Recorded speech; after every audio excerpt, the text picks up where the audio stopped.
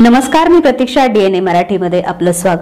पाथर्डे रोडवरील RP hospital येथे मोजमाप तपासणी केलेल्या चार हजार ज्येष्ठ नागरिकांना विविध प्रकारच्या सतरा हजार सहाय्यक साधनांचं मोफत वाटप आज करण्यात आलं. ज्येष्ठ नागरिकांना मोफत सहाय्यक साधने वाट- वाटप करण्यासाठी आठ ते नऊ फेब्रुवारी रोजी मोफत तपासणी शिबिर घेण्यात आलं होतं.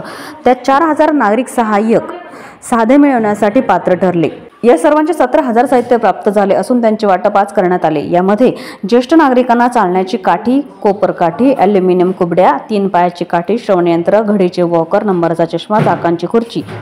कमोड व्हीलर कमोड व्हीलचेअर कृत्रिम दाब संपूर्ण पाठीचा पट्टा मानेचा पट्टा गुडघ्याचा पट्टा वॉकर सिलिकॉन कुशन इत्यादी प्रकारच्या साहित्यांचा समावेश होता. या कार्यक्रमासाठी प्रमुख उपस्थिती म्हणून जिल्हाधिकारी रघुनाथ गावडे आमदार डॉक्टर राहुल पाटील डॉक्टर विवेक नावंदर अरविंद देशमुख आलिम कोचेगोटे संजय मंडल विजय कान्हेकर रवी पतंगे नंदू पाटील नवनीत पाचपोर प्रशांत ठाकूर राहुल कांबळे दिनेश बोबडे आदींची उपस्थिती होती. यावेळी बोलताना आमदार डॉक्टर पाटील म्हणाले की ज्येष्ठ नागरिक मंचाच्या माध्यमातून येणाऱ्या काळात असेही उपक्रम राबविले जातील. सगळ्यात मोठा कॅम्प आज वाटपाचं महाशिबिर आयोजित करण्यात आलं होतं. त्यामध्ये जवळपास सतरा हजारपेक्षा जास्त साहित्याचं वाटप परभणी विधानसभेतील जे ज्येष्ठ नागरिक असतील त्यांना करण्यात आलेलं आहे. डोळ्याचा चष्मा असेल कानाची मशीन असेल ओटाखाली दात कमरेचा पट्टा मानेचा पट्टा हाताची स्टिक संडासला बसणारी चेअर कोमोडची अशा अनेक प्रकारच्या त्यांना दिलासा देणारं साहित्याचं वाटप आपण इथे केलेलं आहे.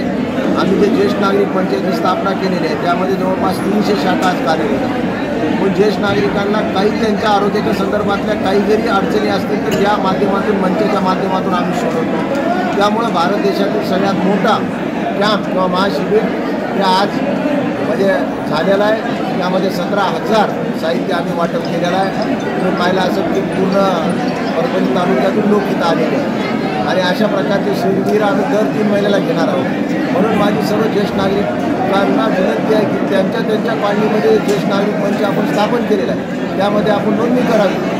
नोंदणी केल्यानंतर आपल्याला कसल्या प्रकारची अडचण येणार नाही. घरपोच सगळं साहित्य किंवा आपल्याला लागणार जे काही गरज गरजेचं सामान असेल यापूर्वी सुद्धा अशाच प्रकारचे निरंतर ही सेवा चालू राहणार. प्रतिनिधी Balaji Kamble D N A Marathi Parbhani.